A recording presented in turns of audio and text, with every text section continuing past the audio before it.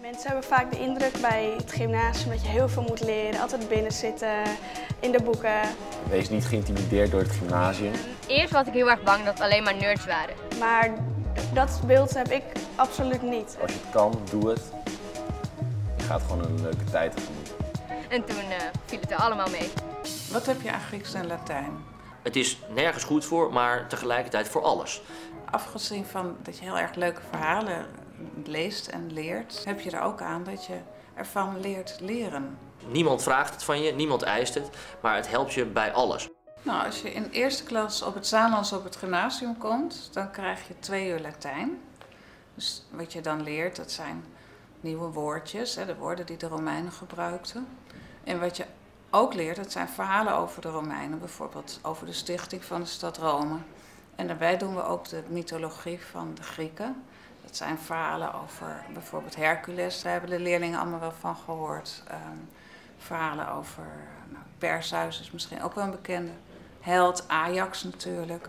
Als je nou tegenkomt Hortatus sum. Wie kan mij vertellen wat dan de betekenis daarvan is? Laurian. Ik heb aangespoord. Precies. En het betekent dus niet ik, ben, aangespoord. Ja, precies.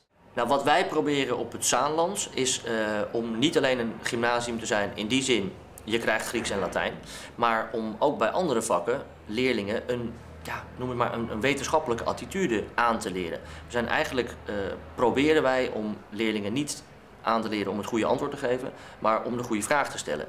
En dat is ja, dat, dat zijpelt, uh, als het goed is, door in alle disciplines, in alles wat hier op school gebeurt. En uh, dat gaat dus verder dan alleen maar een VWO-diploma en een leerling heeft ook Latijn en Grieks gehad in de onderbouw en doet examen in een van twee.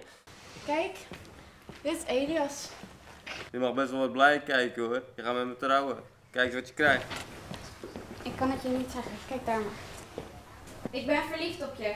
Maar tegelijkertijd ben ik uitgehuwelijkd aan een man waar ik niet van hou. Het belang van zo'n project, mythologie uh, bedenken, spelen, vind ik dat de leerlingen ook een keertje iets heel anders doen dan, uh, het is buiten een lokaal, je doorbreekt dat. Het leukste vind ik dat je ziet dat kinderen waarvan je van tevoren denkt, nou, die zie ik nog niet hardop praten, die kunnen bij zo'n stukje enorm opbloeien. Dat, dat verrast me elk jaar weer eigenlijk. Dus niet alleen van uh, wie heeft wie verslagen in de auto, maar dat ze er zelf een mooi verhaal van maken. En ik vind het heel erg leuk dat ze een keer een theaterles krijgen. En dat is gewoon heel leuk dat ze echt heel vanaf het begin, wat ik heel leuk vind uit een theorie, naar een vorm gaat. Ze hebben een heel goed storyboard gemaakt, tekeningen gemaakt, scènes gemaakt en dat ze dat uiteindelijk ook allemaal zelf gaan spelen. We hebben uh, op het Saanlands Lyceum hebben we ook een groepje leerlingen dat het zogenaamde traject op maat doet. In de vierde ben ik vooruit gaan werken in het uh, boek van Grieks, zodat ik uh, aan het eind van het jaar kon aansluiten met een ander meisje in uh, de klas 5 gymnasium. Het doel van de speciale route kan zijn om eerder examen te doen, dus al in de vijfde klas. Maar het kan bijvoorbeeld ook zijn dat je meer wil weten van een bepaald vak. Dus dat je extra modules doet, dat je extra uh, onderwerpen behandelt die de rest van de klas niet behandelt, omdat jij daarin geïnteresseerd bent. Ik kijk terug op dat project op maat als een, als een hele fijne ervaring. En ik, ik moet zeggen dat ik het ook eigenlijk heel erg waardeer van de school dat ze mij die kans gegeven hebben. Het traject op maat dat we hebben voor de meer begaafde leerlingen, dat hebben we ook voor leerlingen die heel goed zijn in sport. Ik uh, sport heel veel in de week, vooral turnen. En ik heb ook een uh, sportstatus op school.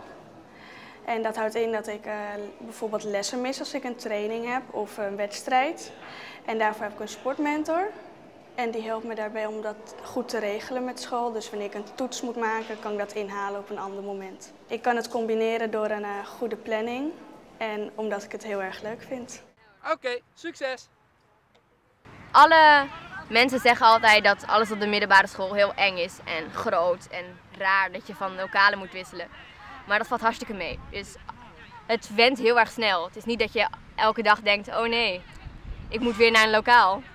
En dan ook met gymnasium. Het zijn niet alleen maar nerds die alleen maar boeken lezen of zo. Maar het is ook gewoon, we doen alles hetzelfde. We hebben alleen twee extra vakken. We zijn ook echte mensen. We, zijn, we hebben ook een sociaal leven en zo. Het, het neemt ook niet zoveel tijd in. Het is niet dat de hele middag zitten te leren voor toetsen en zo.